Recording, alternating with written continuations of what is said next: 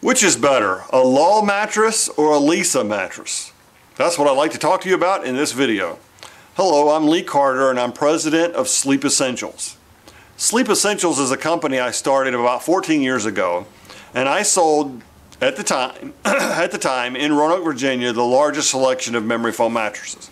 Because I thought memory foam was the greatest, latest technology in sleep back then. And I had to learn the hard way that Memory foam is 100% polyurethane foam. Polyurethane foam is plastic.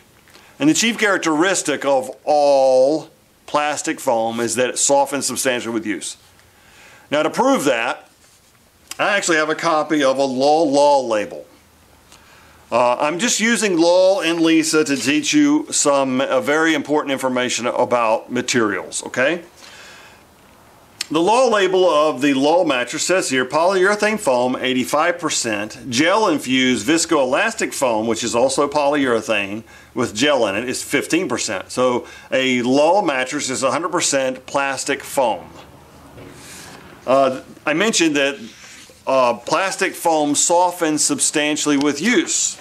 Well, to prove that, I've got a copy of the warranty of the Lull mattress. I got this right off their website. You can log on and, and download it, for yourself. Notice it says here, Lull mattress, exclusions from the limited warranty include but are not limited to one, normal wear and tear. What is normal? They're going to tell you that, that softening the foam is normal, and it is normal. All polyurethane foam softens, as I've already mentioned personal opinions or preferences regarding the softness, firmness, or attributes of the mattress. So if you if your opinion is the mattress has gotten softer, uh, not covered under warranty, and it will soften, and you will know it.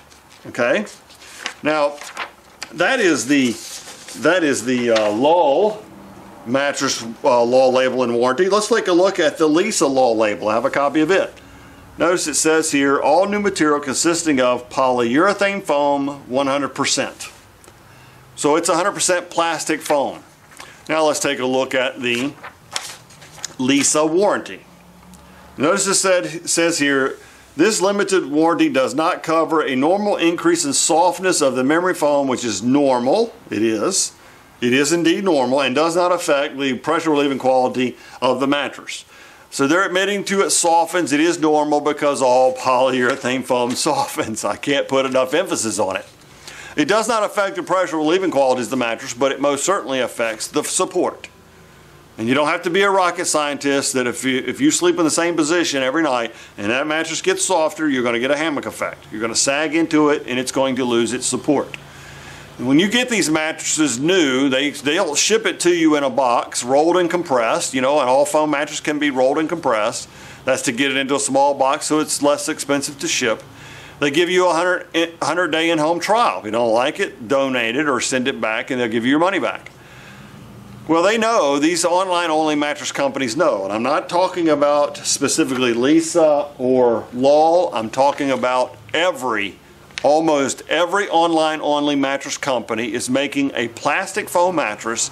They know the consumers are probably going to like the way it feels when it's new. Uh, they have to give you the in-home trial because you know you can't try it. It's not like going into a mattress store, you're taking a chance. Well, they can afford to take back 15% of their mattresses, 20% of their mattresses because the margin is so high. You gotta understand they have very little overhead is they operate out of a back road warehouse somewhere, okay, where their rent is cheap, and they um, make you a plastic foam mattress. Well, plastic foam is dirt, dirt cheap. It may cost us somewhere in the neighborhood of $100 to produce. They ship it to you and sell it to you for five, six, seven hundred dollars, sometimes a thousand dollars. Depends on how slick their marketing is. And um, so they can afford to write off 15% of their sales because the margin is so high on the sales that they have. Now, the reason I can talk to you about this is because you can go into a mattress retail store and look at memory foam. It's the same thing. It's 100% plastic and it's going to soften with use. And it does this very quickly. Now, to give you an example, I sold a memory foam mattress to a man that weighed about 350 pounds. He wore it out in one year. He called me up within in a year of owning the mattress from when he bought it and said, This mattress has gotten really, really soft. So I went to his house and checked it out, and sure enough, where he laid on one side of the bed, he slept at a king all by himself, and he slept on one side near the nightstand.